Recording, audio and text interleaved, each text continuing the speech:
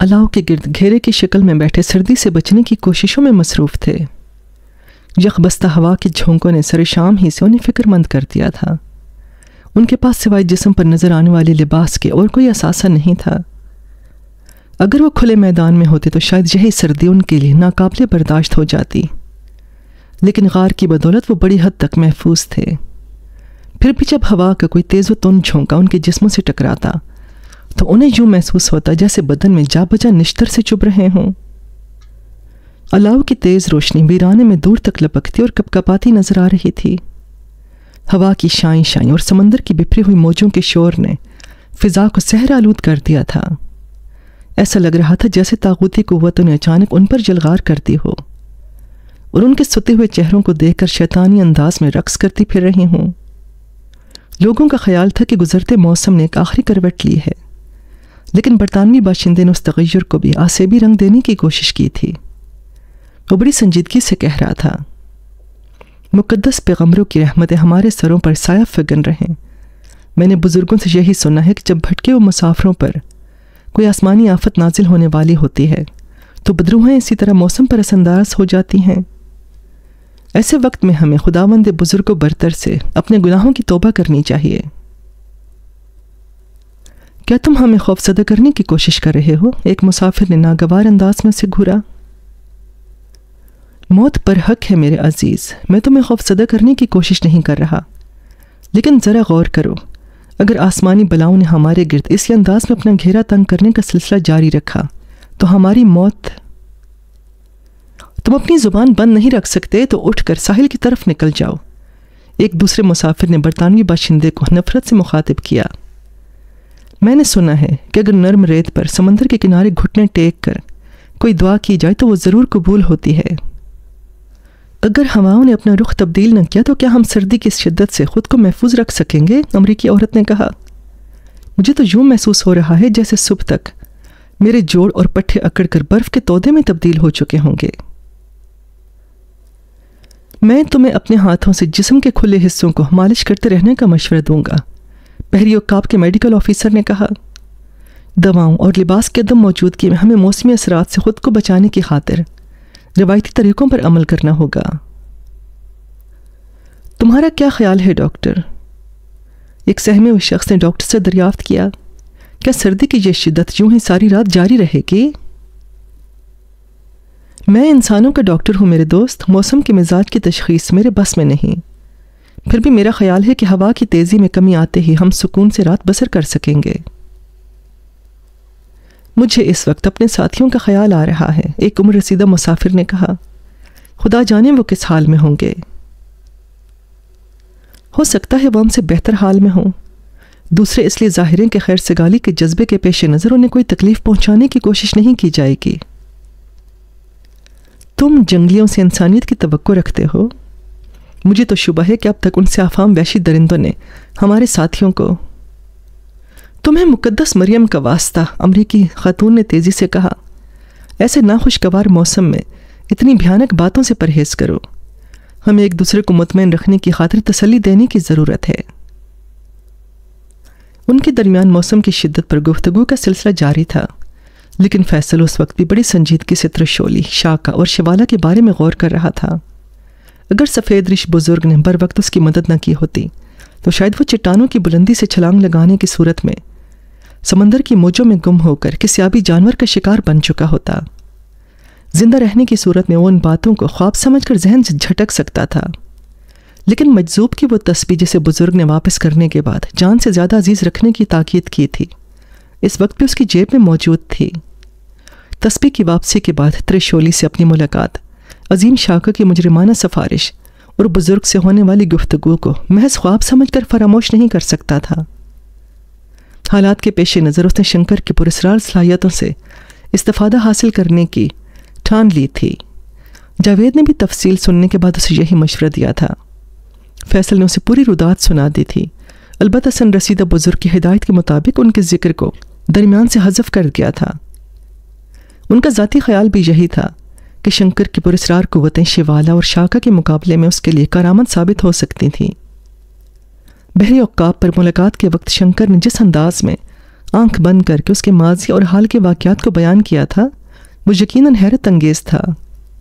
फैसल के मुस्तबिल के बारे में भी उसने अजीब गरीब पेश गोई की थी।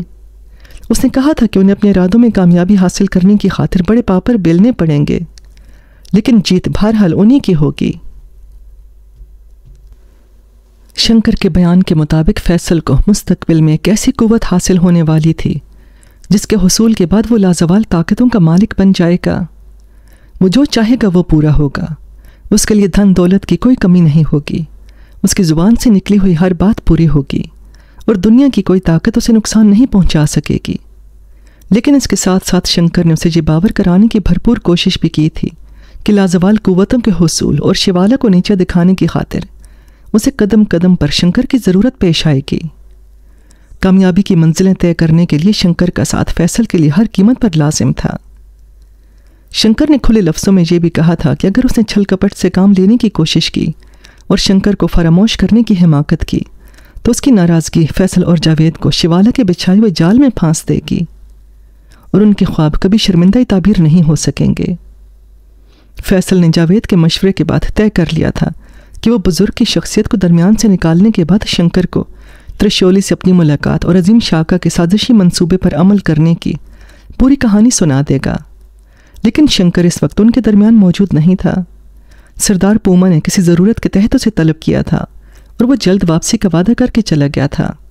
उसने दबी ज़ुबान में इकरार किया था कि सरदार की कोई कमज़ोरी और दुख तीरक उसके हाथ में आ गई है। लेकिन उसने तफसील बताने से गुरेज किया था। तुम्हारा क्या ख्याल है? जावेद ने दबी ज़ुबान में फैसल से पूछा, क्या शंकर की वापसी में ज़्यादा वक्त नहीं गुजर गया? मुमकिन है वो सरदार के साथ मजाकरात में मशगूल हो। फैसल की बजाय तैमूर ने जवाब दिया, ये भी हो सकता है कि मौसम की अचानक तब्दीली के पेश नज़र सरदार ने उसकी वापसी का मामला सुबह तक मुलतवी कर दिया हो। और ये भी मुमकिन है कि हालात ने कोई मखदूश सूरत इख्तियार कर ली हो? फैसल ने संजीदगी से कहा क्या मतलब? तैमूर ने चौंकते हुए पूछा, शंकर की शख्सियत हमारे दरमियान एक सफ़ीर की हैसियत रखती है। वो मकामी ज़ुबान बड़ी रवानी से बोलता है, चुनाचे हमारी तर्जुमानी भी कर सकता है। ऐसी सूरत में अगर सरदार पूमा की जगह मैं होता तो शायद मैं भी शंकर को अच्छी नज़रों से ना देखता। मैं तुम्हारा मतलब समझ रहा हूँ, लेकिन मेरा ख्याल है कि सरदार पूमा शंकर को तरन वाले की तरह आसानी से हजम नहीं कर सकेगा। जावेद ने इजहार ख्याल किया ये एक अलहदा बात है, लेकिन उन दोनों का टकराव भी बेदस कयास नहीं। अगर ऐसा हुआ तो हम ज़्यादा मुश्किल से दो चार हो जाएँगे, तैमूर ने कहा। शंकर की वजह से हम कम अज़ कम सरदार के साथ मफाहमत और दूसरे अमूर के सिलसिले में तबादला ख्याल कर सकते हैं। लेकिन शंकर के ना होने की सूरत में हम एक दूसरे की ज़ुबान समझने से कासिर होंगे। यही बात सरदार को गिरां गुजर ही होगी, फैसल बोला। बहरहाल हमें वक्त की नज़ाकत को महसूस करते हुए हर कीमत पर शंकर का साथ देना होगा। अगर शंकर की वापसी में देर हुई तो हम क्या कर सकते हैं? जावेद ने पूछा। ये हालात पर मुनहसर होगा, मगर ये बात तय है कि शंकर का वजूद इस वक्त हमारे दरमियान रीढ़ की हड्डी की तरह अहम है। फैसल ने पहलू बदलते हुए कहा, हम जल्दबाजी में कोई फैसला नहीं कर सकते, लेकिन हाथ पर हाथ धरे बैठे रहना भी हमारे लिए खुदकुशी के मुतरदफ होगा। क्या शंकर ने तुम्हें बताया था कि सरदार उसे बार बार किस मकसद के तहत तलब कर रहा है? तैमूर ने दरियाफ्त किया। नहीं, लेकिन मेरा ख्याल है कि सरदार को इस बात का इल्म ज़रूर होगा कि शंकर भी अपने अंदर कुछ पुरस्कार कुतें रखता है। ऐसी सूरत में सरदार पूमा की पहली कोशिश यही होगी कि वो शंकर की कुत का अंदाज़ा लगाने की कोशिश करे, ताकि टकराव की सूरत में खुल कर ना सिर्फ़ ये कि अपना दिफा कर सके, बल्कि शंकर को जेर भी कर सके। हमारी आम ज़िंदगी में भी यही कुछ हो रहा है कि एक फरीक दूसरे फरीक की कमजोरियाँ तलाश करने और बवक्त ज़रूरत उस पर हावी आ जाने के मंसूबे बनाता रहता है। मोहब्बत और जंग में तमाम हरबों का इस्तेमाल जायज़ है। इसलिए हम सरदार पूमज शंकर में से किसी एक को मोरद इल्ज़ाम भी नहीं ठहरा सकते। जावेद ने लापरवाही से कहा, एक बात मेरी समझ में नहीं आई, तैमूर ने फैसल से पूछा तुम्हारे जहन में इस वक्त अचानक ये ख्याल क्यों आया कि शंकर और सरदार के दरमियान टकराव भी हो सकता है? बहुत सी बातों की कोई तोजी नहीं पेश की जा सकती, लेकिन ज़ुबान से निकली हुई बात अक्सर हैरत अंगेज तौर पर दुरुस्त साबित होती है। शंकर और सरदार पुमा के बारे में तुम मेरे शुबे को छठी हिस्स की बेदारी से भी ताबीर कर सकते हो। यह भी हो सकता है कि मेरा अंदाज़ा कतई तौर पर गलत साबित हो, और? लेकिन फैसल अपनी बात मुकम्मल न कर सका। रूपा ने जो उन लोगों के करीब ही बैठी हुई थी, अचानक बुलंद आवाज़ में बोलना शुरू कर दिया। तो सभी उसकी जानब मुतवजह हो गए। वो अजीब पुरस्कार अंदाज में पथराई और आँखों से खला में घूर रही थी और उसकी आवाज़ फिजा में आहिस्ता आहिस्ता बुलंद हो रही थी। नहीं, ये कभी नहीं हो सकता। जब तक तुम्हारी रूपा रानी के सुंदर शरीर और आत्मा का संबंध बाकी है, धरती की कोई शक्ति तुम्हें नुकसान नहीं पहुँचा सकती। पुजारन अपने देवता के चरणों पर अपना जीवन बलिदान कर सकती है। तुम केवल देवता नहीं, रूपा रानी के प्रेमी भी हो। नहीं, मैं तुम्हारी किसी आज्ञा का पालन नहीं करूँगी। प्रेम का अंत सिर्फ़ शरीर का मिलाप नहीं, जीवन की भेंट भी बन सकता है। मैं देखूँगी कि कौन दुष्ट तुम्हें जालिम नुकसान पहुँचा सकता है। तुम समय के भेदभाव के कारण अपने होंठों पर ताले डाल सकते हो, लेकिन रूपा ये सब कुछ बर्दाश्त नहीं कर सकती। मैं मैं आ रही हूँ। रूपा के चेहरे पर तनाव की कैफियत तारी थी। उसके तेवर बतदरीज तब्दील हो रहे थे। वो बड़े ठोस और फैसला कुन अंदाज में अपने जुमले अदा कर रही थी। फिर वो यकलख्त खामोश हो गई। उसने अपनी आँखें बंद की तो इस अंदाज में उसका जिसम एक जानब ढलक गया। जैसे उसके जिस्म और रूह का रिश्ता अचानक मुनकते हो गया हो। बहुत सारे अफराद बैक वक्त रूपा की कैफियत का अंदाज़ा लगाने की खातिर उसकी जानब लपके थे, जिनमें बहरी औकाब का डॉक्टर पेश पेश था। शंकर को पत्थर के एक सुतून से जकड़ कर बांधा गया, जो झोंपड़ी के अंदर शायद इसी मकसद के तहत बनाया गया था। ज़मीन दोस्त कमरे में उस झोंपड़ी तक मुंतकिल होने के वक्फे के दौरान मकामी लोगों की तादाद में बतदरीज इजाफा होता गया था। उस वक्त भी दस बारह नेज़ा बरदार वैशी उसे अपने घेरे में लिए पूरी तरह चाको चौबंद नज़र आ रहे थे। उनकी शोलबार निगाहें शंकर को हकारत भरे अंदाज में घूर रही थीं। वो शायद ऊपर से मिलने वाले किसी दूसरे हुक्म के मुंतजर थे। वरना उनके तेवर बता रहे थे कि अगर बात उनके इख्तियार में होती तो शायद अब तक वो उसका जिसम छलनी कर चुके होते। वो झोंपड़ी आम रिहायशी झोंपड़ियों के मुकाबले में खासी वसी व अरीज थी। उसे आबादी से हटकर उस मकाम पर तामीर किया गया था, जहाँ से घने जंगलात का सिलसिला शुरू होता था। वहाँ जिस किस्म के हथियार और साजो सामान मौजूद था, उसको देखने के बाद शंकर ने यही नतीजा अखज़ किया था कि उस झोंपड़ी को बागियों और सज़ा याफ्ता लोगों के लिए जेल खाने या फिर टॉर्चर सेल के तौर पर इस्तेमाल किया जाता होगा। अगर वो मेहमान खाना होता तो फिर उसे सुतून से जकड़ कर बेबस करने की क्या ज़रूरत थी? शंकर का जहन बड़ी सूरत से काम कर रहा था। जारिया के इलाज के सिलसिले में सरदार पूमा ने वक्ती तौर पर जो समझौता किया था, वो गालिबा लोबीता के मशवरे पर किया गया था। लोबीता उसकी ताकत का सही अंदाज़ा लगाने से कासिर रहा था। लेकिन उसने काफ़ी गौर हौस के बाद ये बात बड़ी यकीनी अंदाज में कही थी कि वो जारिया को उस शहर से निजात दिलाने में कामयाब हो जाएगा, जिसके ज़रिए माकिला ने उसके निचले जिसम को मफलूज कर दिया था। शंकर ने अपनी पुरस्कार कुतों के ज़रिए जान लिया था कि सरदार पूमा, उसके गिर्द साजिश का कोई ना कोई जाल ज़रूर बुनेगा। लेकिन हालात इस कदर अचानक पलटा खाएँगे, ये बात उसके वहमो गुमान में भी नहीं थी। वो जिस अंदाज में हालात का शिकार हुआ, उसमें कुछ तो उसकी अपनी कोताही थी और कुछ जारिया के क़यामत हैज़ हुसन की कशिश थी, जिसने उसे सोचने समझने की मोहलत नहीं दी थी। खूबसूरत और दिलकश खदोखाल की औरतें उसकी सबसे बड़ी कमज़ोरी थी और वह इस वक्त उसी कमज़ोरी का शिकार हुआ था। वो हालात से खौफसदा नहीं था। अगर चाहता तो अपनी ताकूती क़वतों के ज़रिए उन वहशियों से पल भर में गुलो खलासी हासिल कर सकता था। लेकिन उसने दीदा दानिस्ता खुद को हालात के सुपुर्द कर दिया था।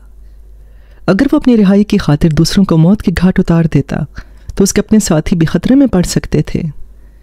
एक ही वक्त में वो चौमुखी लड़ने से कासिर था। इसके अलावा खामोश तमाशाई बनकर वो सरदार पूमा की ताकत का अंदाज़ा भी लगाना चाहता था। ताकि उसका जवाबी हमला इस कदर भरपूर और होलनाक हो, कि दुश्मनों को संभलने का मौका न मिल सके। जारिया का हसीन जिस्म उसके हिसार में आते आते रह गया था। उस नाकामी के तस्वर ने उसके इंतकामी जज्बों को हवा देकर और भड़का दिया था। सरदार पूमा का वजूद उसकी आँखों में किसी शहतीर ही की मानंद चुभ रहा था। बहुत देर तक वो आँखें बंद किए हालात का जायजा लेता रहा। फिर लोबीता की आवाज़ उसकी कुत समाज से टकराई तो उसने आँखें खोल दी। लोबीता उसके सामने खड़ा, उसे हैरत भरी नज़रों से देख रहा था।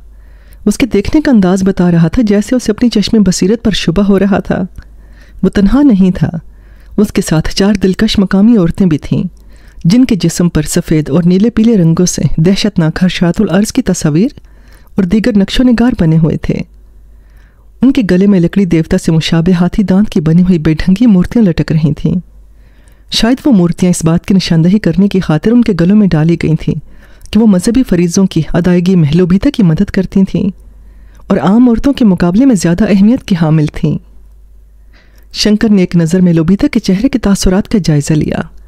फिर इंतहाई लापरवाही से उन चारों औरतों को देखने लगा, जो लोबीता के पीछे हाथ बांधे खड़ी शंकर को घूर रही थीं।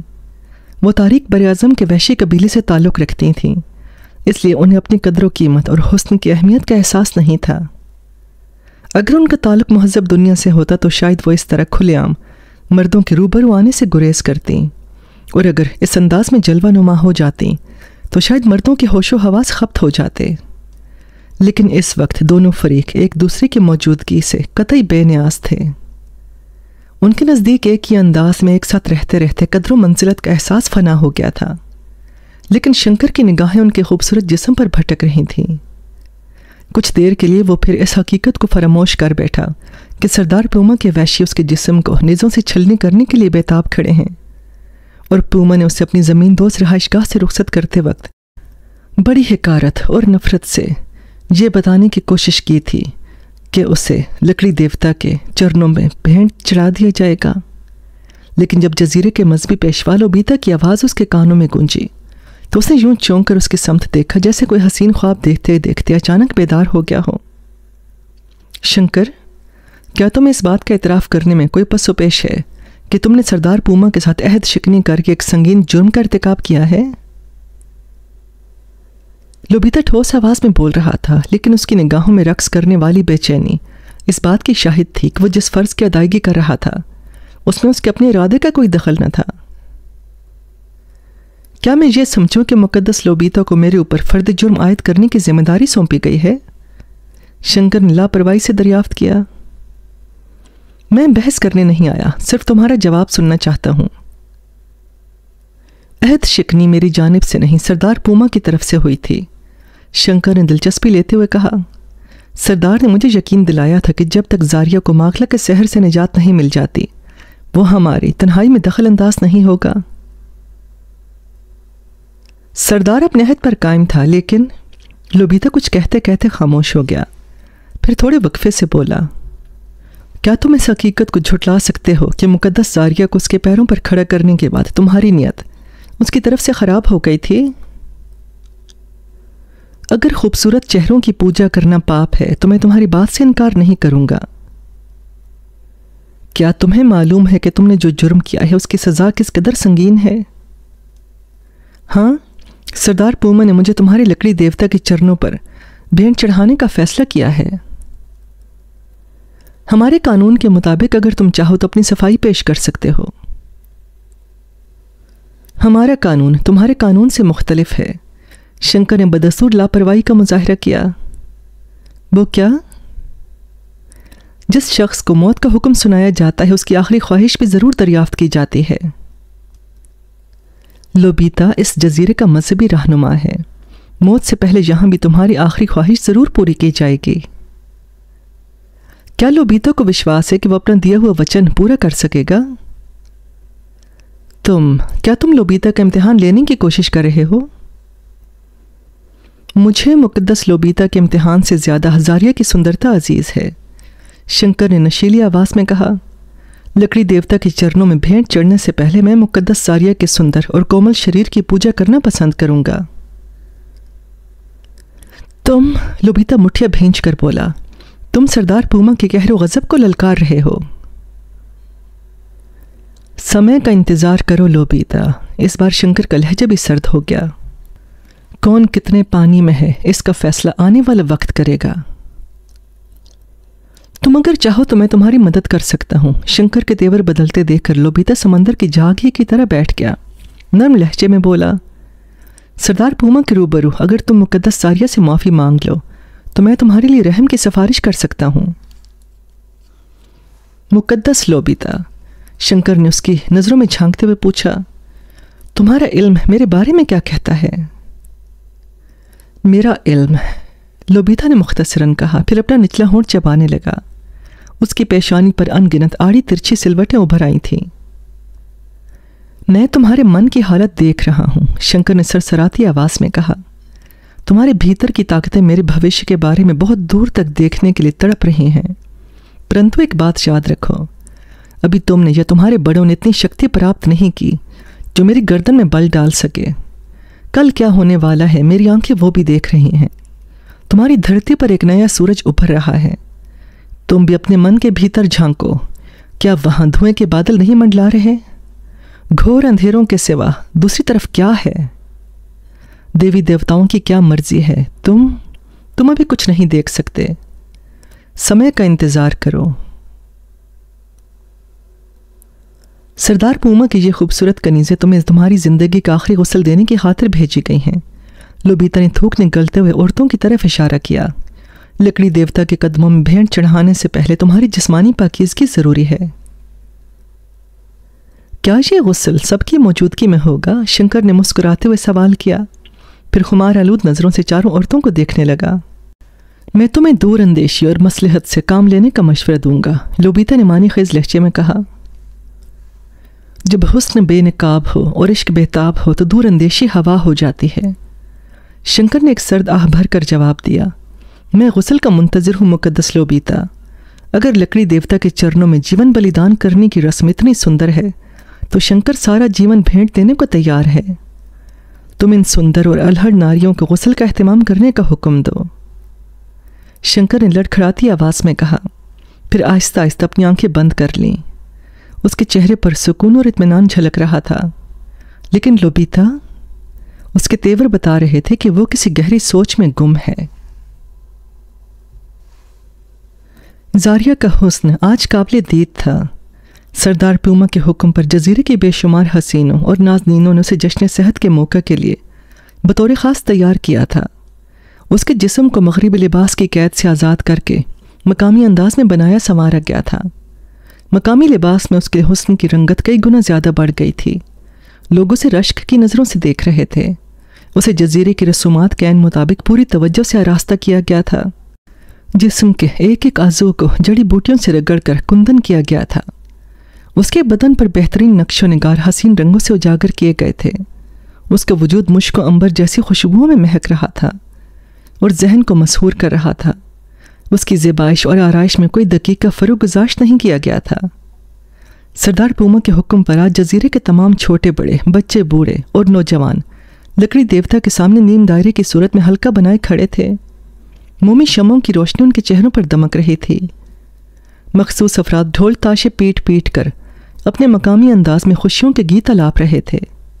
स्याफाम वैशी और नुखेज लड़कियाँ रक्सो सरूद की महफिलों में बढ़ चढ़ कर हिस्सा ले रही थीं। लोबीता के मजहबी हल्के के अफराद उनके दरमियान कोई मखसूस मशरूब तकसीम करते फिर रहे थे। वो यकीनन कोई नशावर अर्क था, जो उनके चेहरों और निगाहों से मस्ती बनकर छलक रहा था और रफ्ता रफ्ता उन्हें मदहोश कर रहा था। सरदार पूमा हंसपे मामूल एक बुलंद मकाम पर बैठा था। जारिया क़यामत बनी उसकी बाई जाने बैठी थी। उसकी पुश्त पर जजीरे की हसीन तरीन लड़कियाँ खड़ी थीं। शायद इस तरह पूमा ने जारिया के हुसन की दिलकशी और निरंगियों को मजीद नुमाया करने की कोशिश की थी। बस मंज़र में नीलगुं स्याही कार फरमा हो तो पेश मंज़र की गुलाबी माइल सफ़ेदी दुआतशा बन जाती है। जारिया भी उस वक्त देखने वालों के दिलो दिमाग पर बिजली बनकर कूद रही थी। पूमा के दाहनी जानब लोबीता और उसके दूसरे कारिंदे मौजूद थे। चारों समत किसी मेले का समा तारी था। वक्त के साथ साथ हंगामों में इजाफा हो रहा था। हजूम का जोशो खरोश बढ़ता जा रहा था।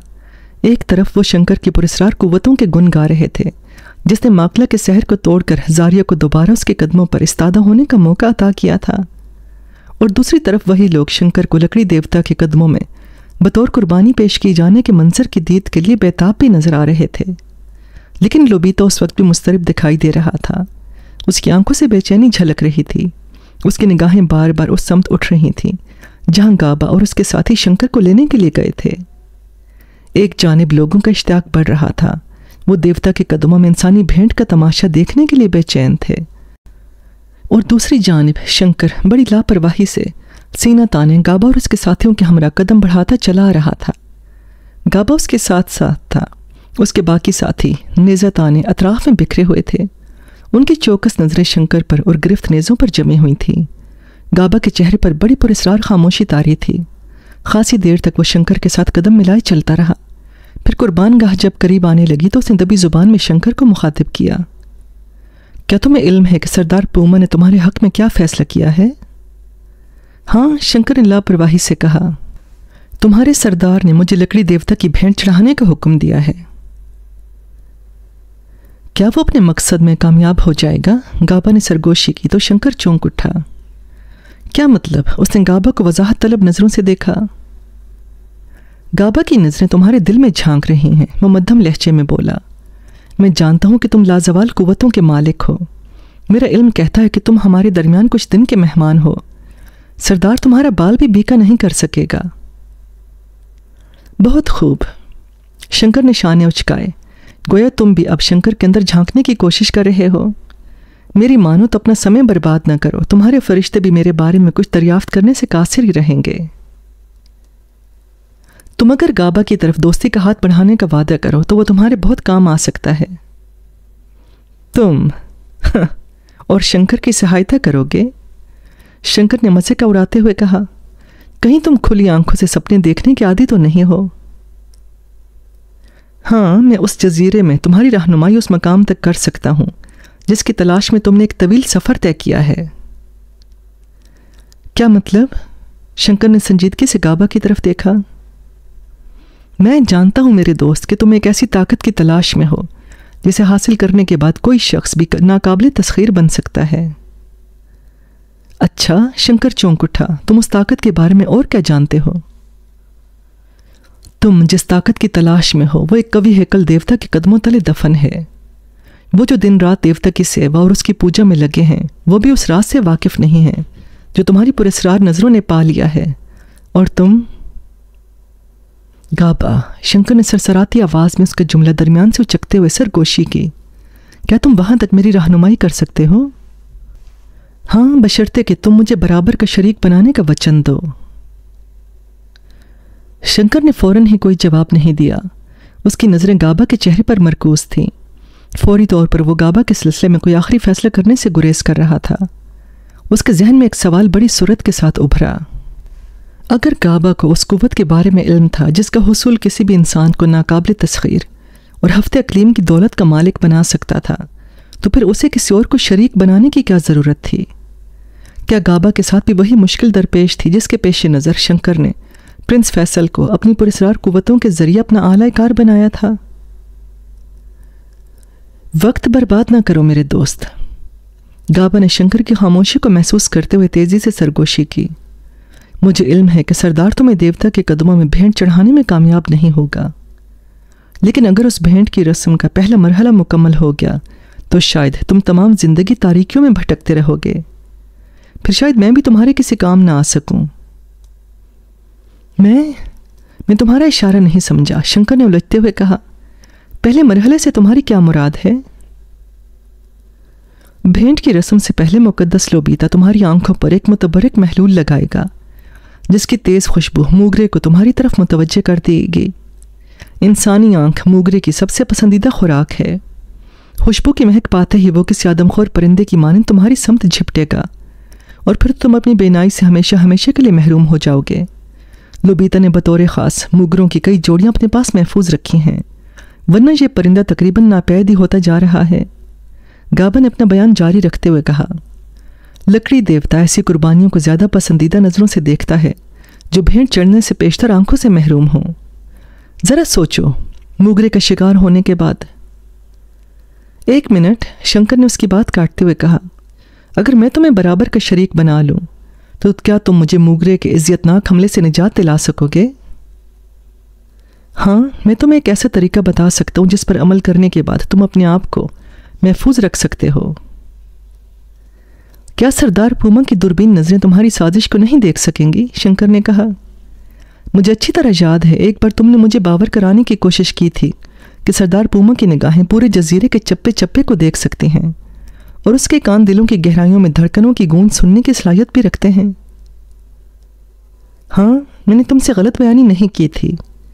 लेकिन तुम ये क्यों भूल रहे हो कि मैं नायब की हैसियत रखता हूँ? गोया अगर मैं तुम्हारे साथ दोस्ती का वादा कर लूँ तो तुम सरदार के अतमाद को धोखा देने पर तैयार हो। मेरे पास वक्त कम है, गाबा ने इस बार कदरे उजलत में कहा। मैं तुम्हारा आखिरी फैसला सुनना चाहता हूँ। गाबा को शरीक बनाकर तुम कामयाब हो सकते हो। दूसरी सूरत में शायद तुम्हारे ख्वाब कभी शर्मिंदा ताबीर न हो सकें। मुझे तुम्हारी शर्त मंजूर है, शंकर ने कुछ सोचते हुए जवाब दिया। तो गाबा की निगाहें खुशी से चमक उठीं। ठीक उसी वक्त रूपा की आवाज़ की लहरें शंकर की कुत समात पर गूंजने लगीं। तुम समय के भेदभाव के कारण अपने होंठों पर ताले डाल सकते हो, लेकिन रूपा ये सब कुछ बर्दाश्त नहीं कर सकती। मैं मैं आ रही हूँ। रूपा की आवाज़ सुनकर शंकर ने खलाओं में झांका, फिर उसके होंठों पर एक मानी खेज मुस्कुराहट फैलकर गहरी होती चली गई। मुझे यकीन था कि तुम मेरी पेशकश को कबूल कर लोगे। गाबा ने कहा, लेकिन एक बात का ख्याल रखना, अगर तुमने किसी मौका पर गाबा के अतमाद को ठेस पहुँचाने की कोशिश की तो बहुत खसारे में रहोगे। शंकर ने ज़िंदगी में नफ़ा नुकसान के बारे में कभी संजीदगी से गौर नहीं किया। मौजूदा सूरत हाल ही को ले लो। बदहदी का सबूत सरदार पूमा ने दिया था और खसारा मुझे बर्दाश्त करना पड़ रहा है। इसे तुम क्या कहोगे? शंकर ने नहायत मुतमिन लहजे में जवाब दिया। रूपा की आवाज़ ने उसके अहतमाद को बहाल कर दिया था। चुनाचे उसने आँखें बंद करके अपनी पुरस्कार कुतों को समेटा और गाबा के दिल का हाल मालूम करने लगा। उसे मामले के तह तक पहुँचने में ज़्यादा दुशारी पेश नहीं आई। गाबा की अयारी पलक झपकते में बेनकाब हो गई। वो लोबीता की फराहम करदा मालूम का सहारा लेकर शंकर को दोस्ती पर आमादा कर रहा था। एक लम्हे को शंकर के दिल में यह ख्याल बड़ी सूरत से उभरा कि वो गाबा को अपनी महान शक्तियों का निशाना बनाकर बसात का रुख पलट दे लेकिन उसने जल्दबाजी का मुजाहरा नहीं किया। उसकी विद्या उसे बता रही थी कि गाबा उसके मतलूबा मकाम तक रहनुमाई करने में उसके लिए कारामन साबित हो सकता है। लिहाजा वो खून का घूंट पीकर मसलहतन चुप ही रहा। गाबा उसे शीशे में उतारने की खातिर कह रहा था मेरी बात गौर से सुनो। सरदार के इमाम पर लोबीता जब तुम्हारी आखिरी ख्वाहिश के बारे में दरियाफ्त करे तो तुम नहीं, शंकर ने उसकी बात काटते हुए कहा, मैंने तुमसे सिर्फ़ मंजिल मकसूद तक रहनुमाई की खातिर और उसके बाद हासिल होने वाली लाजवाल ताकत के सिलसिले में शिरकत की है। मुगरे की तरफ़ से होने वाले हमले का तदारक मैं खुद करूँगा। क्या तुम ऐसा कर सकोगे? शंकर तनहा भी सैकड़ों पर भारी है। उसका अंदाज़ा तुम्हें बहुत जल्द हो जाएगा। मैं तुम्हें किसी हिमाकत और जल्दबाजी से काम लेने के सिलसिले में दूरंदेशी का मशवरा दूँगा, गाबा ने संजीदगी से कहा। पुरसरार कुतें एक वक्त में पूरे जजीरे पर बसने वालों की मुश्तरक कुतों का मुकाबला नहीं कर सकती। सरदार पूमा ने तेवरी पर बल डालकर आँख छपकी तो पलक छपकने की देर में सैकड़ों नेजे तुम्हारे जिस्म के आर पार हो जाएँगे। गाबा, शंकर ने उसकी बात को यकसर नज़रअंदाज करते हुए सरगोशी की। क्या तुम पूमा की जगह सरदार की गद्दी पर बैठना पसंद करोगे? शायद अब तुम गाबा के साथ कोई दिलचस्प मज़ाक करना चाहते हो। समय का इंतज़ार करो, इसका फैसला भी बहुत जल्द हो जाएगा। शंकर ने खुले मैदान में कदम रखा तो तमाम नज़रों से की जानब घूरने लगी। सरदार पूमा की निगाहों में इंतकाम के शोले भड़कने लगे। लकड़ी देवता के मखसूस पुजारियों ने अपने मजहबी गीत को ज़्यादा बुलंद आवाज़ में अलापना शुरू कर दिया। नौजवान मर्द और औरतों ने लानत लानत की तकरार शुरू कर दी। लेकिन दो अफराद ऐसे भी थे जिनके तासुरात दूसरों से मुख्तलिफ़ थे। एक जारिया थी जो शंकर को रहम तलब नज़रों से देख रही थी। शायद इसलिए कि वो उसका मोहसिन था और दूसरी शख्सियत लोबीता की थी, जिसकी निगाहों में इस वक्त भी उलझन और परेशानी के मिले जुले तासुरात मौजूद थे। उसका दिल गवाही दे रहा था कि शंकर की पुरस्कार कुतों को शिकस्त देना सरदार पूमा के बस की बात नहीं होगी। मुतद बार उसने जसारत करने की कोशिश की कि वो सरदार को अपनी जहनी कैफियतों से आगाह कर दे। उसे शंकर को भेंट चढ़ाने का इरादा बदल देने का मशवरा दे। लेकिन कोई अंदरूनी और नादीदा कुवत ऐसी थी जो उसे उसके इरादों से बाज रखे हुए थी। शंकर गावा के इशारे पर लकड़ी देवता के सामने ज़मीन पर सफ़ेद रंग से बने हुए वसी दायरे के दरमियान पहुंचकर रुक गया। उसने बदस्तूर सीना तान रखा था और गर्दन अकड़ा रखी थी। वो दिलचस्प नज़रों से हजूम की बेचैनी देख रहा था, जिसका जोशो खरोश हर लम्हा बढ़ता जा रहा था। फिर जकलख्त सरदार ने अपनी जगह खड़े होकर दोनों हाथ फिजा में बुलंद किए तो मजमे पर गहरा सुकूत तारी हो गया। देवता के मखसूस पुजारियों ने अपना मजहबी गीत बंद कर दिया। अब सबकी नज़रें सरदार की समत लगी हुई थीं। पूमा किसी जंगजू फाते की मानद हजूम पर नज़र दौड़ाता रहा। फिर उसकी ठोस आवाज़ बुलंद होना शुरू हुई। मेरे अज़ीज़ दोस्तों, बुज़ुर्गों, नौजवानों और जान निसारों आज एक तवील मुद्दत के बाद देवता के कदमों में एक नवारिद को भेंट चढ़ाने की रस्म अदा की जाएगी। तुम सब इस बात के गवाह हो कि लकड़ी देवता के हुजूर, जब भी भेंट पेश की गई तो उसने जजीरे के बासियों को अपनी अजीम और नाकाबली शिकस्त कुतों से सरफराज किया है और हमारी परेशानियाँ टल गई हैं। आज ये कुर्बानी जारिया के जश्न सेहत के सिलसिले में पेश की जा रही है। तुम सब जानते हो कि पूमा को सरदारी का मनसब किस तरह हासिल हुआ है। हम ताकत के पुजारी हैं और ताकत के सामने सर झुकाना अपना फ़र्ज़ समझते हैं। जारिया के हसूल की खातिर मैंने माकला को तुम में से बहुत सारे लोगों की मौजूदगी में ललकारा था। पूमा हक पर था, इसलिए देवता ने उसे माकला के मुकाबले में फतेह से हमकिनार किया था।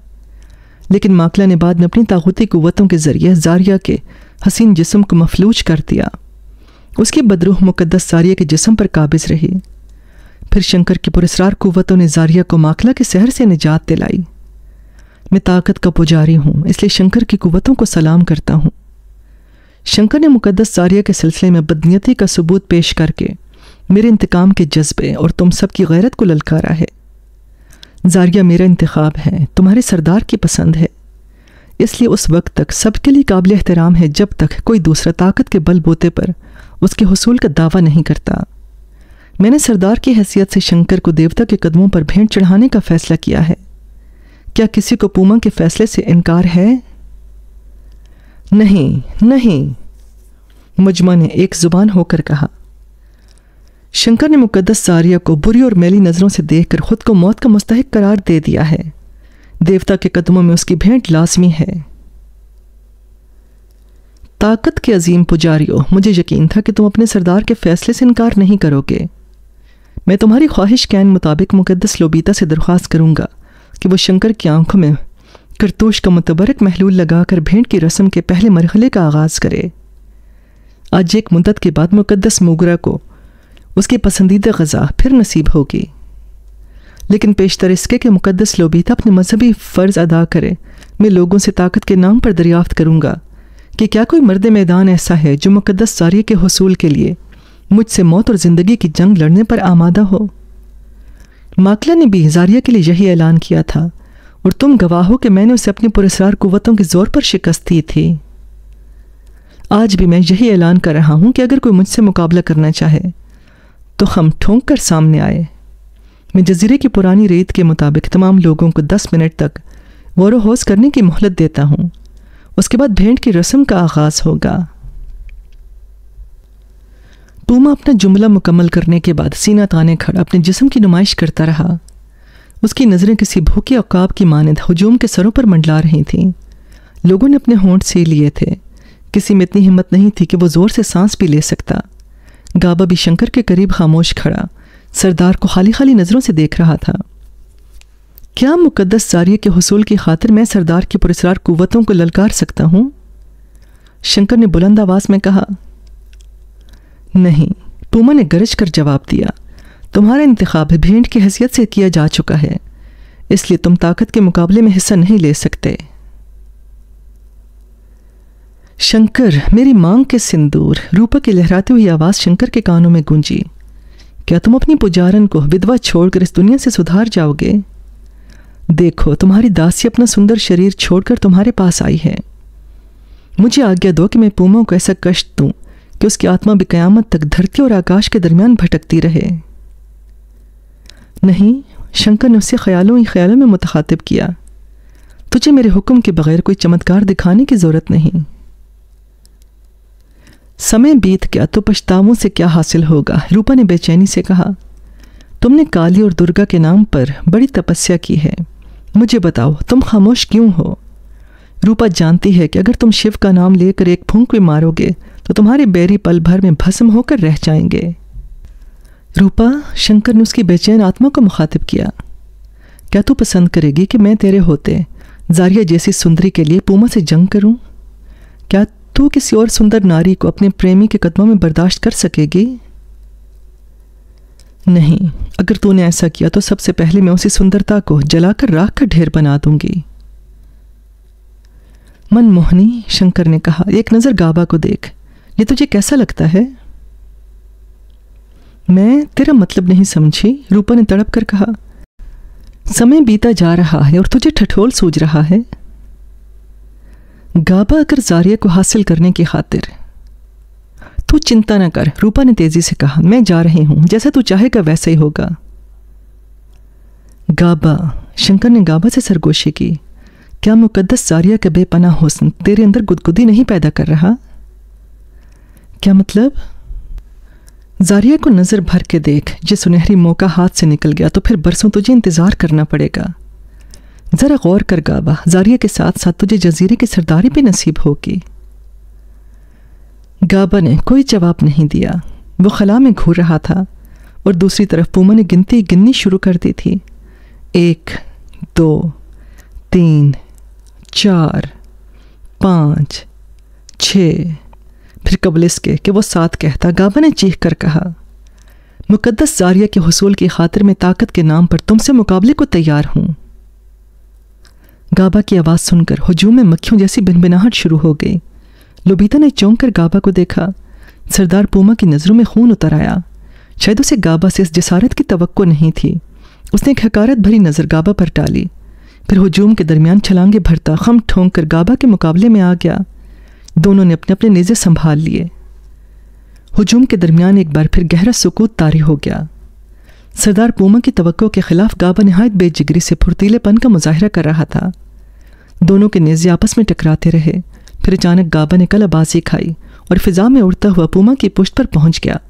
पूमा ने संभलने की कोशिश की, लेकिन गाबा ने हैरत अंगेज कुत का मुजाहरा करते हुए उसे कमर पर लाद कर और सर से बुलंद करके दूसरी जानब चारों खाने चित गिरा दिया। फिर पलक झपकते में उसका नेज़ा फिजा में बुलंद होकर नीचे आया। तो पूमा के हल्क से अजियतनाक चीख बुलंद होकर दूर तक फिजा के दोष पर लहराती चली गई। गाबा का नेज़ा पूमा के सीधे हाथ को छेदता हुआ ज़मीन में धंस गया था और पूमा दर्द की शिद्दत से बेबस पड़ा बिलबिला रहा था। जिस सब कुछ इतनी जल्दी और खिलाफ तो हुआ कि हजूम एक सानिया को दम बखुद रख गया।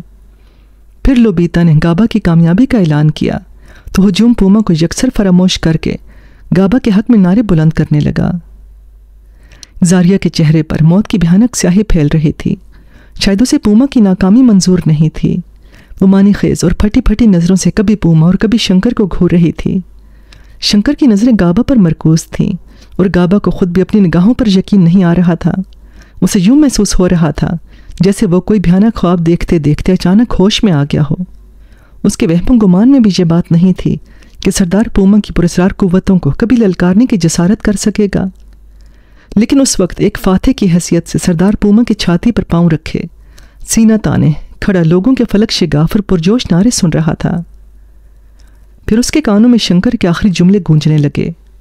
उसका दिल गवाही दे रहा था कि उसकी फतह में उसके अपने इरादे से ज़्यादा शंकर की पुरस्कार कुतों का दखल शामिल है।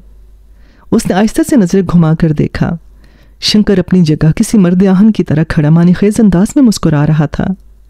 उसकी नज़रें उस वक्त खूबसूरत और हसीन जारिया पर जमी हुई थीं। आहिस्ता आहिस्ता रूपा के गिरद लोगों का हजूम बढ़ता जा रहा था। उसने जिस अंदाज में खला में घूरते हुए बोलना शुरू किया और फिर जिस तरह यकलख खामोश होकर संगलाक फर्श पर ढलक गई थी, उसने कुर्बो जवार में बैठे हुए बेशतर मुसाफिरों को उसकी जाने मुतवजह कर दिया था। डॉक्टर ने सबसे पहले करीब पहुंचकर उसका मुआयना शुरू कर दिया था। फैसल, जावेद और तनवीर भी करीब खड़े हुए सूरत हाल को समझने की कोशिश कर रहे थे। लोगों ने सर्दी की शिद्दत को वक्ती तौर पर फरामोश करके रूपा के बारे में इजहार ख्याल शुरू कर दिया। एक मुसाफिर कह रहा था यह सर्दी को बर्दाश्त नहीं कर सकी। लेकिन उन जुमलों का क्या मकसद था जो उसकी ज़ुबान से अदा हुए? क्या तुम उसे हिजानी कैफियत करार दे सकते हो?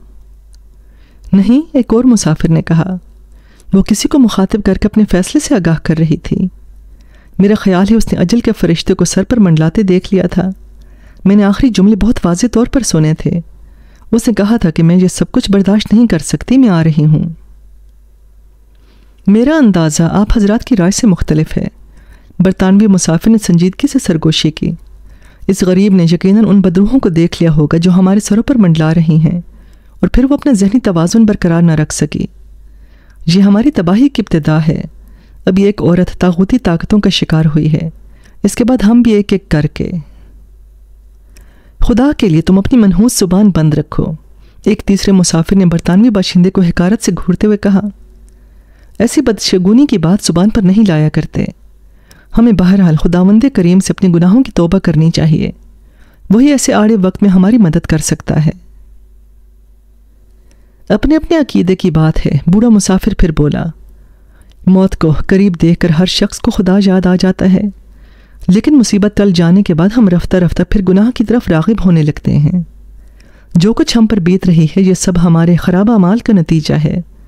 अगर अब भी हमारी आँखों की पट्टी न खुली तो हमारा अंजाम यकीनन हमारी तवक्कुआत से कहीं ज़्यादा मुख्तलिफ़ और इबरतनाक होगा। देखो, गौर से देखो, बरतानवी बाशिंदे ने अपने करीब खड़े हुए साथी से सरगोशी की। मैं डॉक्टर के चेहरे पर मायूसी देख रहा हूँ। अब वो इसकी दर्दनाक मौत का ऐलान करने वाला है। फिर डॉक्टर रूपा का तफसीली मुआयना करने के बाद अपने पैरों पर खड़ा हुआ तो हजूम पर खामोशी तारी हो गई। सभी निगाहें डॉक्टर के चेहरे पर मरकोज थीं। मैं फौरी तौर पर कोई बात यकीन से नहीं कह सकता। मेरा ख्याल है कि हमें इस अंदाज में इसे घेर कर नहीं खड़ा होना चाहिए। वरना ऑक्सीजन की कमी इसके लिए नुकसानदेह और जानलेवा भी साबित हो सकती है। फिर जब डॉक्टर के मशवरे और अमरीकी खातून के कहने पर लोग रूपा से दूर होकर खड़े हो गए तो फैसल ने करीब आते हुए दरियाफ्त किया।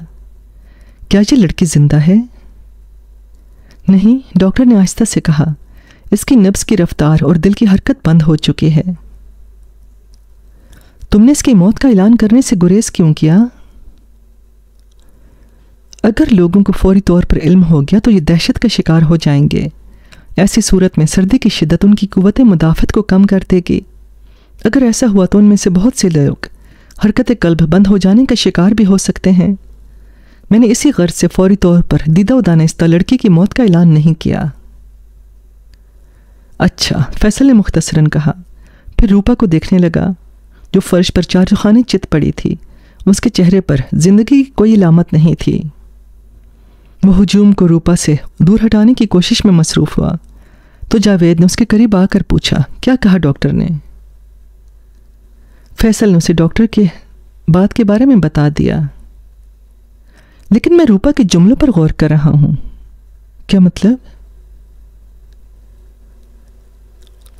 हो सकता है मेरा अंदाज़ा गलत ही हो, लेकिन मेरा ख्याल है कि अपनी मौजूदा कैफियत से दो चार होने से पेशतर वो शंकर से मुखातिब थी।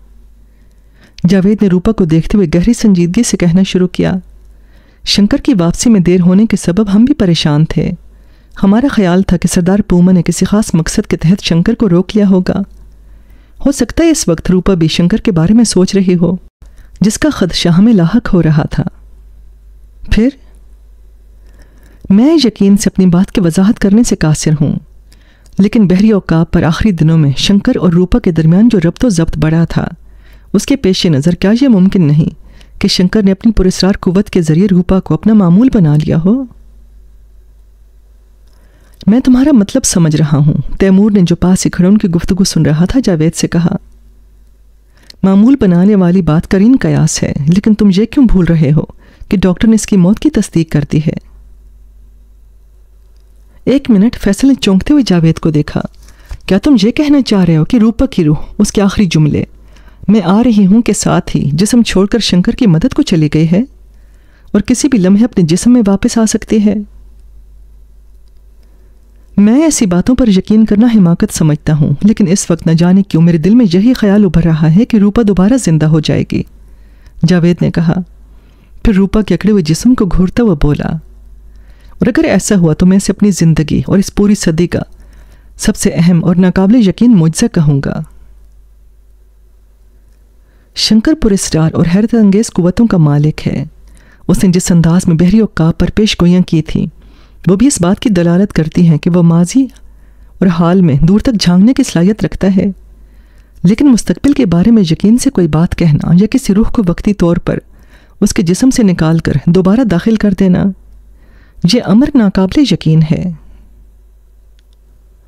हो सकता है वो सिफली अमल का भी माहिर हो, तैमूर ने तेज़ी से कहा। अगर ऐसा है तो फिर सब कुछ सोचा जा सकता है। मैंने बुज़ुर्गों से और अपने साथी मल्लाहों से ऐसे बेशुमार वाक़ात सुने हैं। अकले सलीम जिनके बारे में सोचना भी पसंद नहीं करती। तुम लोग ख्वाह कुछ भी कहो, लेकिन मेरा जहन इन बातों को। फैसल ने अपना जुमला मुकम्मल करना चाहा, लेकिन फिर उसकी नज़रों ने जो मंजर देखा, उसे देखकर वो दम्बा खुद रह गया। वो फटी आँखों से रूपा को देखने लगा, जो आहिस्ता आहिस्ता उठकर बैठ रही थी। अंदाज ऐसा ही था जैसे वो तवील ख्वाब से बेदार हुई हो। जावेद और तनवीर के अलावा डॉक्टर भी पत्थर के किसी बेजान मुजस्मे की तरह बुत बना खड़ा, रूपा को हरकत करते देख रहा था। दूसरी सुबह वो बेदार हुए तो शंकर भी उन सब के दरमियान मौजूद था। यखबस्ता हवाओं के सबब रात वो बहुत देर से सोए थे, लेकिन शंकर की वापसी किस वक्त हुई ये बात किसी के इल्म में नहीं थी। बहरी जहाज़ का मेडिकल ऑफिसर, जिसने रूपा की मौत की तस्दीक की थी शंकर को देखकर सबसे पहले उसके करीब गया फिर वो दोनों गुफ्तगु करते हुए साहिल के करीब एक चट्टान पर जाकर बैठ गए। डॉक्टर कुछ देर तक शंकर से उसके बारे में दरियाफ्त करता रहा। फिर उसने रूपा के सिलसिले में गुजशत रात की पूरी तफसील दोहराते हुए संजीदगी से कहा, मेरे मोहतरम दोस्त, मैंने पूरी तवज्जो और होशो हवास के साथ उसका तफसीली मुआयना किया था। उसकी नब्ज़ और दिल की धड़कनें बंद हो चुकी थीं। फिर वो दोबारा ज़िंदा हो गई। अच्छा हुआ जो मैंने मसलहतन उसकी मौत के ऐलान में जल्दबाजी का मुजाहरा नहीं किया। वरना उसके होश में आने के बाद या तो लोग मेरे डॉक्टर होने पर शुबा करते, या फिर उसे भूत या चुड़ैल समझकर चीखना चिल्लाना शुरू कर देते। ये धरती एक गोरख धंधा है मेरे अज़ीज़, शंकर ने लापरवाही से जवाब दिया। बहुत सारी बातें ऐसी होती हैं जिसे तुम्हारी डॉक्टरी और साइंस तस्लीम नहीं करती, लेकिन उन बातों को झुटलाया भी नहीं जा सकता। तुमने रूपा के बारे में अपने ख्याल का इजहार नहीं किया। डॉक्टर फिर बोला, मेरी मानो डॉक्टर, उस चमत्कार को एक सपना समझकर भूल जाओ। शंकर ने बदस्तूर संजीदगी से कहा, जो कुछ तुम्हारी विद्या ने बताया, वो भी सही था, और जो तुम्हारी नज़रों ने देखा, वो भी झूठ नहीं है। मैं नहीं समझा, क्या तुम्हारा ख्याल है कि वो खूबसूरत लड़की हब से दम की माहिर है? डॉक्टर ने हैरत से कहा, फिर कुछ सोचते हुए बोला उसके आखिरी जुमले अभी तक मेरे कानों में गूंज रहे हैं। लेकिन उसके दिल की धड़कनें, मैं उस वाक्य को ज़िंदगी की आखिरी सांसों तक फरामोश नहीं कर सकता। क्या तुम मुझे बताना पसंद करोगे कि उसकी ज़िंदगी का राज क्या था? कुछ बातें ऐसी होती हैं जिनका राज रहना बहुत ज़रूरी होता है, डॉक्टर। शंकर ने मानी खेज लहजे में कहा, उस सुंदर लड़की के मामले को हल करने का ध्यान मन से निकाल दो, वरना खुद भी उलझ कर रह जाओगे। फिर जावेद और फैसल के आ जाने से डॉक्टर और शंकर के दरमियान गुफ्तगु का सिलसिला जारी न रह सका। कुछ देर बाद डॉक्टर रुखसत हो गया तो फैसल ने मौका गनीमत जानकर शंकर को तोशी और शाका से ख्वाब की कैफियत में मिलने की तमाम रुदात सुना दी। लेकिन सन रसीदा बुज़ुर्ग की हिदायत के मुताबिक उनके और तस्बी के तस्करे को दरमियान से हजफ कर गया। शंकर पूरे इन्हमाक से फैसल की एक एक बात को जहन नशीन करता रहा। उसकी पुरस्कार नज़रें फैसल के चेहरे पर मरकूज थीं। मुझे खुशी है मेरे मित्र कि तुमने मुझे अंधेरे में नहीं रखा। शंकर ने तफसील सुनने के बाद कहा, तुमने जो कुछ बयान किया है वो केवल सन्यासी नहीं है। शाका की काली शक्तियाँ तुम्हारे दरमियान से हटाना चाहती हैं। इसी कारण उस दुष्ट ने एक सुंदरी को त्रिशोली का रूप देकर तुम्हें भटकाने की खातिर तुम्हारे सामने पेश किया था। परंतु एक बात मेरी समझ में नहीं आ रही। तुम शाका के बिछाए हुए जाल से किस तरह बच निकले? मुझे खुद भी हैरत है, फैसल ने जल्दी से बात बनाते हुए नहायत संजीदगी से कहा, शाका की गंदी कुवतें मुझे पहाड़ की बुलंदियों तक ज़रूर ले गई थी, लेकिन उसके बाद मुझे यूँ लगा जैसे किसी ने मुझे झंझोड़ कर बेदार कर दिया हो। अगर मैं सिर्फ़ दो तीन कदम और आगे बढ़ जाता तो। क्या तुमने ख्वाब में किसी दीवाने को भी देखा था? शंकर ने उसका जुमला काटते हुए दरियाफ्त किया। उसकी नज़रें बदस्तूर फैसल के चेहरे पर मंडला रही थीं। नहीं, फैसल ने कहा। फिर चौंक कर बोला, तुम्हें अचानक किसी दीवाने का ख्याल कहाँ से आ गया? तुम शायद भूल रहे हो मेरे मित्र, एक बार उसी पागल दीवाने ने तुम्हें मौत के मुँह से बचा लिया था। मैं समझा नहीं। उस वाक्य को याद करो जब तुम्हारी कार एक ट्रक से टकराते बच गई थी। वो दीवाना दरमियान में अचानक टपक पड़ा था। हाँ मुझे वो हादसा याद है, लेकिन तुम्हें यह सब कुछ कैसे मालूम हुआ? फैसल ने चौंकते हुए शंकर को घूरा। मुझे तुम्हारे बारे में सब कुछ मालूम है, शंकर ने मुस्कुराते हुए जवाब दिया। वो भी, जो बीत चुका है और वो भी जो कल पेश आने वाला है। शंकर, फैसल ने पहलू बदल कर सवाल किया।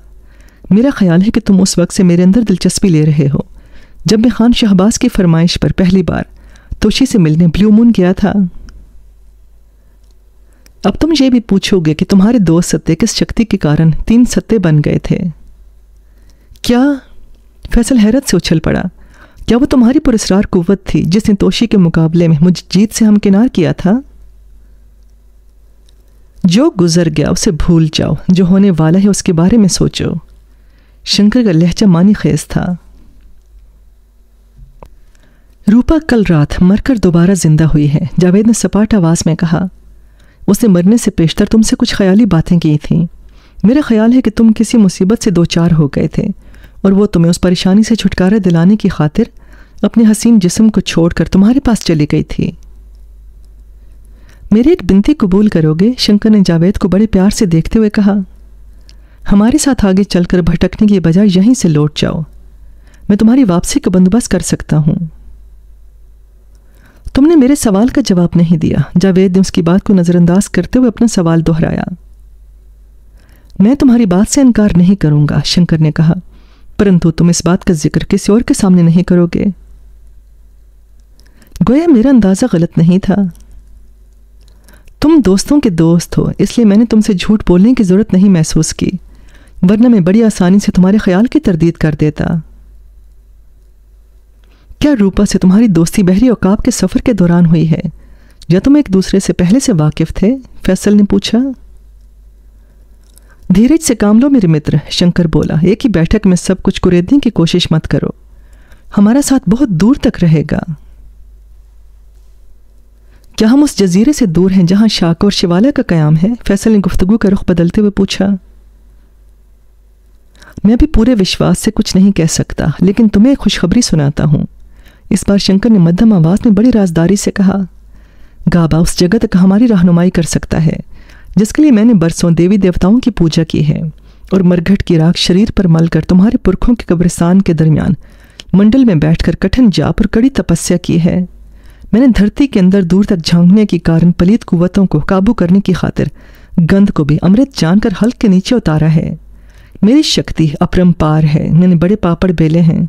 तब कहीं जाकर अंधेरों में झांकने की शक्ति प्राप्त की है। परंतु अब वो समय बहुत करीब आ गया है, जिसके सपने में एक जन्म से देख रहा था।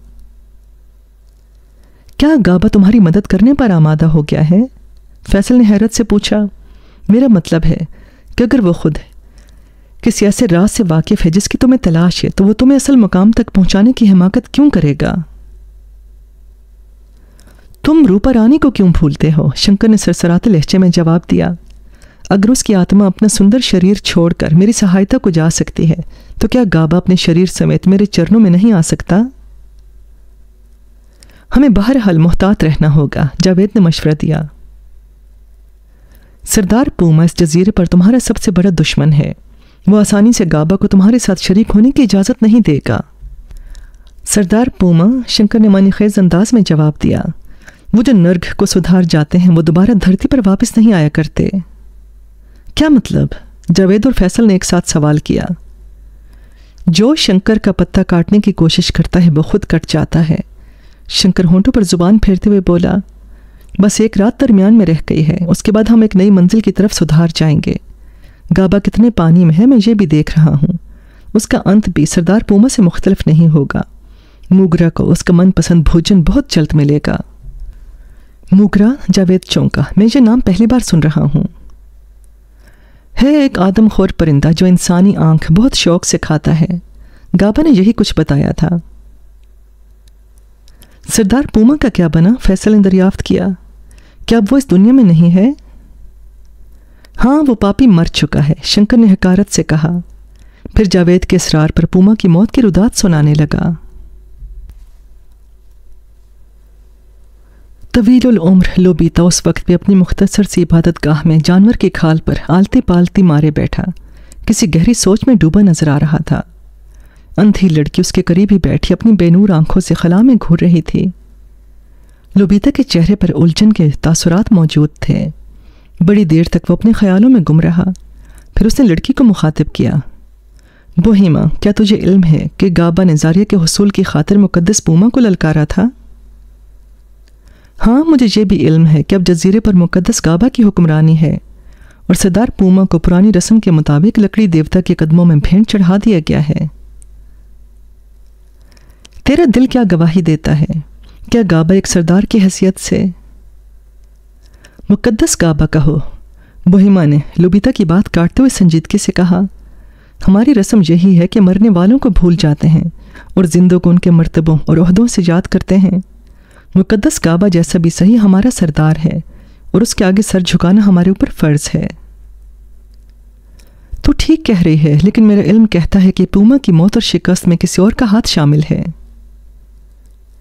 वही तो नहीं जिसने मुकद्दस जारिया को माकला के शहर से निजात दिलाई थी। हाँ वही, लोबीता ने कहा। फिर तवक्फ से बोला, कल क्या होगा? ये देवताओं के सिवा कोई नहीं जानता। लेकिन मेरी आँखें देख रही हैं कि अभी हमारे दरमियान कुछ तो खून का सिलसिला जारी रहेगा। क्या मुकद्दस गाबा भी? मैं यकीन से कुछ नहीं कह सकता, लेकिन मुझे अंधेरों के बावजूद ज़मीन से गर्दो गुबार के बादल बुलंद होते दिखाई दे रहे हैं, और धूल का उड़ना कोई नेक शगुन नहीं। ऐसी अलामतें हमेशा तबाही और बर्बादी का पेश खेमा साबित होती हैं। क्या हमें देवताओं को खुश करने की खातिर दोबारा किसी भूले भटके मुसाफिर की कुर्बानी पेश करना होगी? बोहिमा लुबीता का लहजा यकलख्त तलख हो गया। मैं महसूस कर रहा हूँ कि तुझे अजनबी लोगों की कुर्बानी सब उकताहट शुरू हो गई है। मुकद्दस लोबीता का हुक्म और ढोल की मखसूस आवाज़ मेरे जिस्म के अंदर खून की गर्दिश तेज कर देती है।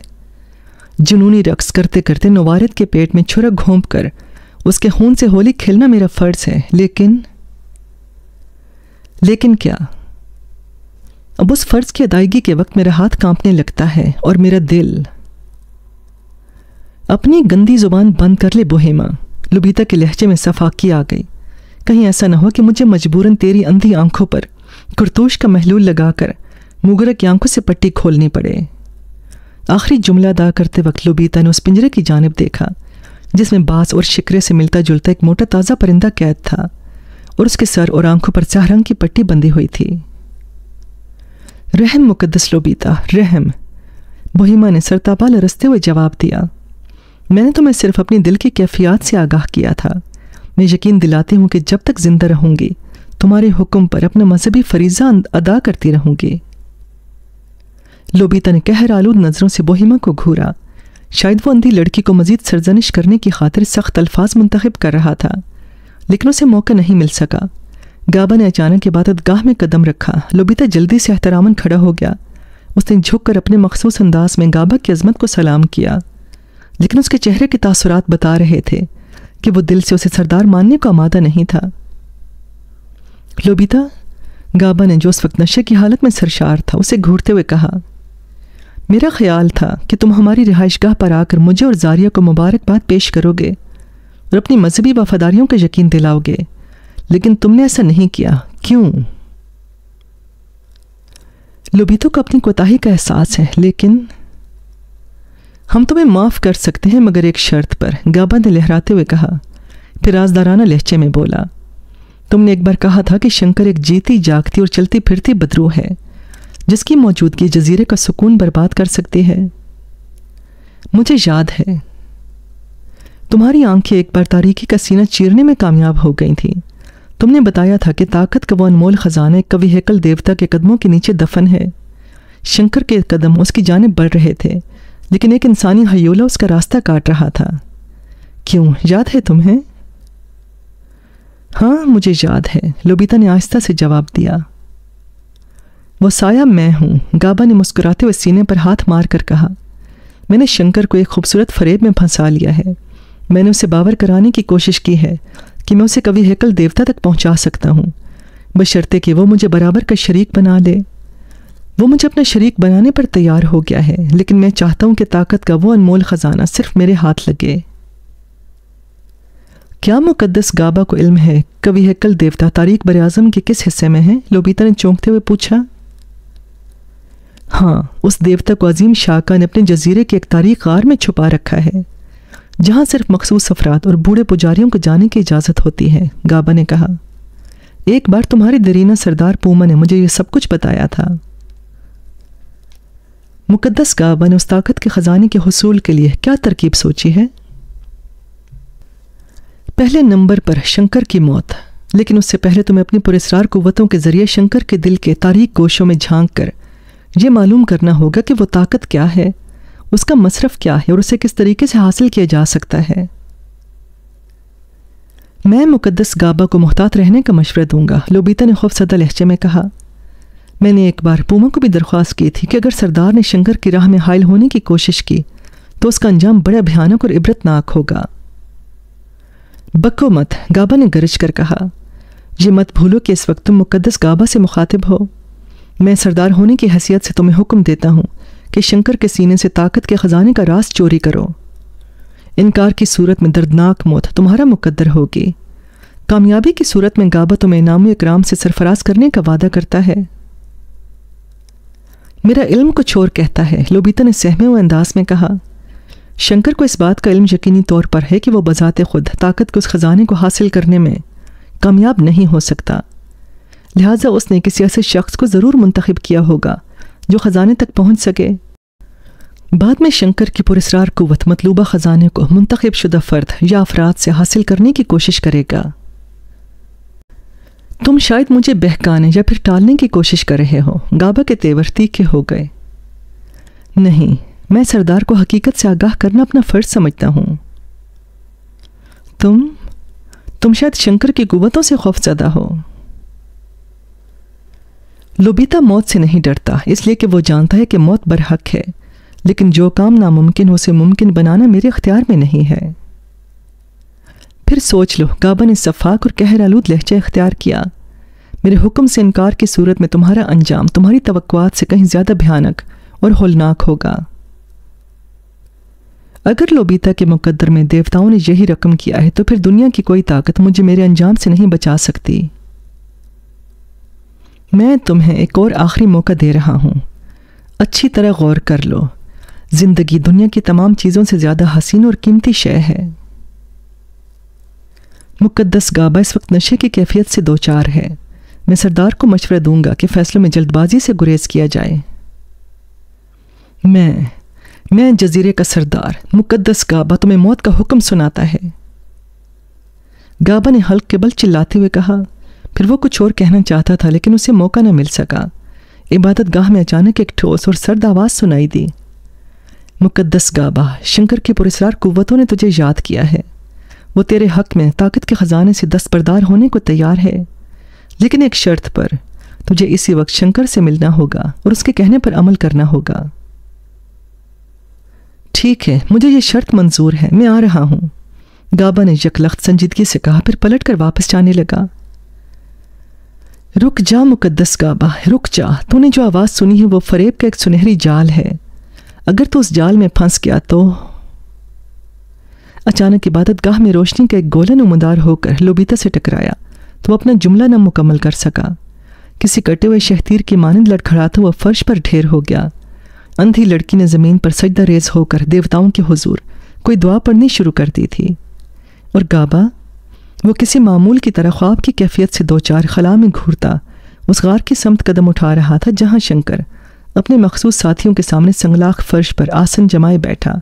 आँखें बंद किए एक आजमूदा मंत्र के जाप में पूरी तरह महफ था। फैसल और जावेद खामोश बैठे शंकर को देख रहे थे, जो उनसे थोड़े फासले पर आलती पालती मारे बैठा कोई जाप कर रहा था। रूपा को उसने अपनी पुश्त पर बिठा रखा था, लेकिन उस दायरे से बाहर जो उसने अपने तरफ़ खींच रखा था ये जगह उस गार से खासी दूर थी, जहाँ उनके दूसरे साथी मौजूद थे। शंकर रूपा के साथ बातें करते सैर के बहाने निकला था। फैसल और जावेद को भी उसने अपने साथ आने का इशारा किया था। फिर वो आपस में गुफ्तगु करते हुए साहिल के किनारे किनारे खासी दूर तक निकल आए। उसके बाद शंकर ने हिसार खींच कर कोई जंतर मंतर पढ़ना शुरू कर दिया। मंडल में दाखिल होने से पेशतर उसने रूपा को अपनी पुश्त पर दायरे के बाहर बैठने की हिदायत की थी और फैसल और जावेद को सख्ती से ताकीद की थी। कि जब तक वह खुद उनसे मुखातिब न हो, वो उसके अमल में खलल डालने की हिमाकत न करें। और जो कुछ उन्हें नज़र आए, वो उसे महज एक खामोश तमाशाई की हैसियत से देखते और सुनते रहें। फिर उसने हिसार में दाखिल होकर आसन जमाया और आँखें बंद करके पूरी तवज्जो के साथ कुछ पढ़ने लगा। फैसल और जावेद उसके अमल शुरू करने के बाद दीदा उदानिस्ता कुछ दूर आ गए थे। ताकि अगर वह गुफ्तगु करें तो उनकी आवाज़ शंकर के अमल में खलल न पैदा कर सके। फिर सूरज गुरूब होने के बाद अंधेरा फैल कर गहरा होने लगा। अगर चाँद की रोशनी ना होती तो शायद वो एक दूसरे की शक्ल भी ना देख पाते। रूपा बदस्तूर शंकर की हिदायत के मुताबिक एन उसकी पुश्त पर संगलाख फर्श पर बराजमान थी। शंकर का रुख जजीरे पर बसने वालों की सम था। तारीकी में उसका वजूद किसी पुरस्कार अफरीत की मानद ही दिखाई दे रहा था। जावेद की नज़रें मुस्तकिल तौर पर कभी शंकर और कभी रूपा को देख रही थी। फिर उसने फैसल से पूछा, क्या तुम्हें इल्म है कि शंकर इस वक्त किस अमल का विरत कर रहा है?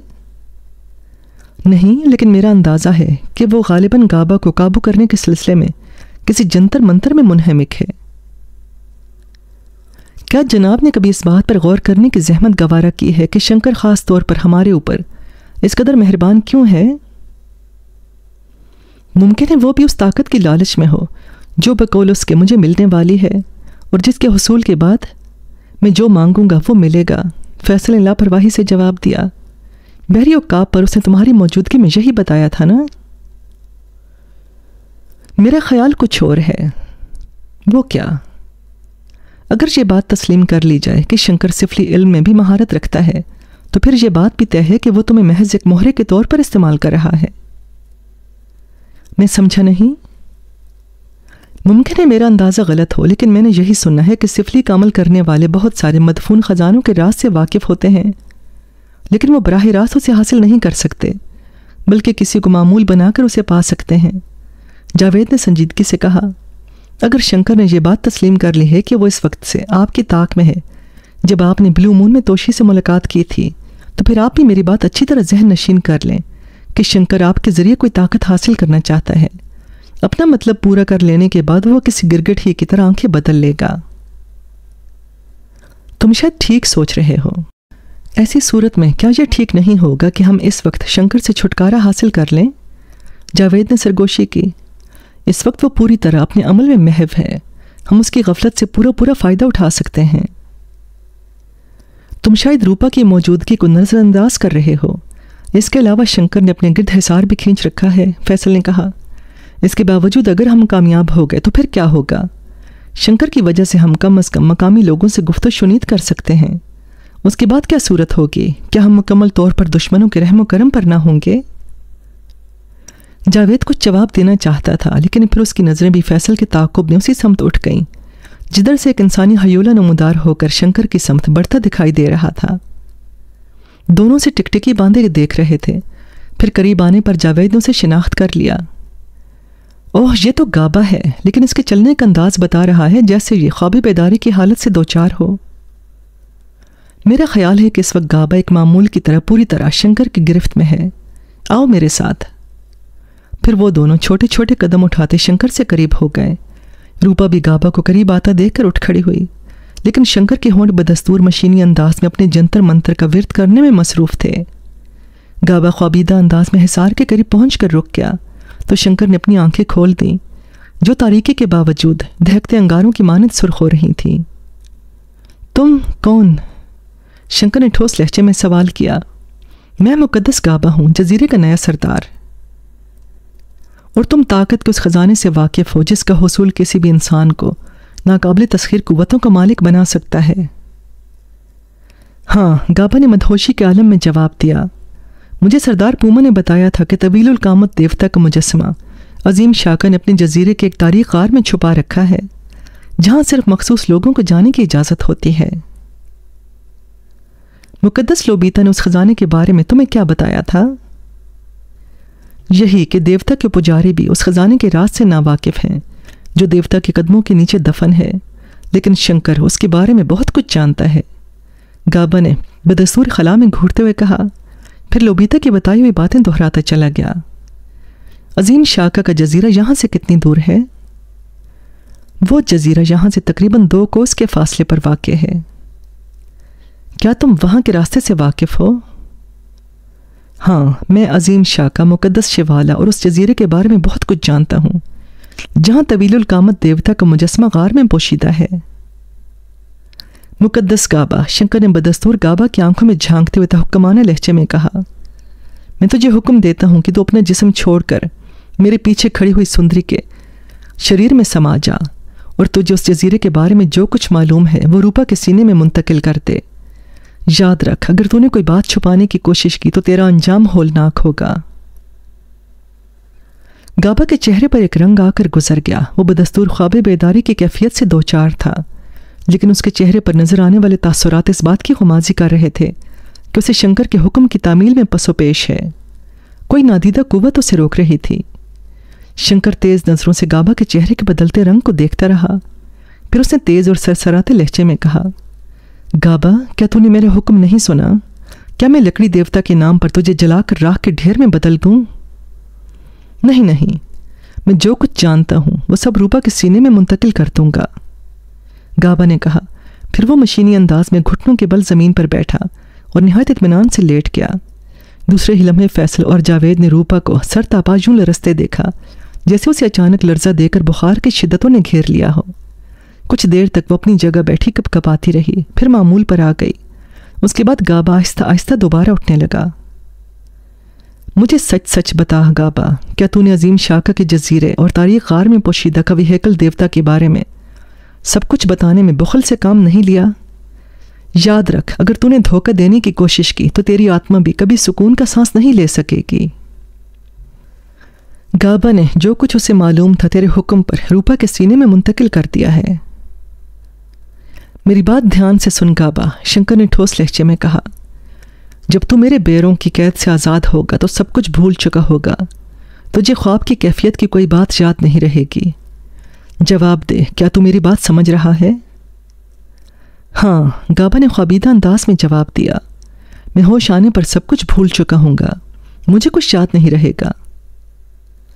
शाबाश, शंकर ने कहा। अब तू वापस पलट जा। मुकद्दस जारिया का सुंदर शरीर तेरी राह तक रहा होगा। जारिया को देखने के बाद तू होश में आ जाएगा। जा, वापस लौट जा। और शंकर के हुक्म पर गाबा किसी जरखरीद गुलाम ही जैसे अंदाज में वापस लौट गया। शंकर के अलावा जावेद और फैसल भी उसे देखते रहे। फिर जब वो नज़रों से ओझल हो गया तो शंकर ने मंडल से बाहर आकर एक जोरदार फूंक मारते हुए कहा, तू कहाँ गुम है रूपा रानी? मैं रूपा इस तरह चौंकी जैसे कोई ख्वाब देखते देखते अचानक बेदार हो गई हो। मैं शायद कुछ देर के लिए सो गई थी। लेकिन अगर मैं सो गई थी तो मैं बैठी हुई किस तरह हूँ? जवानी की नींद ऐसी ही होती है, रूपा रानी, शंकर मानी खेज अंदाज में बोला। अपने जहन पर बोझ न डाल, मैं जो तेरे पास हूँ। क्या क्या तुम अपना जाप पूरा कर चुके? रूपा ने हैरत से दरियाफ्त किया। इतना घोर अंधेरा छा गया और मैं तू सपनों की सैर कर रही थी, इसलिए हमने तुझे छेड़ना मुनासिब नहीं समझा। क्यों, प्रिंस फैसल?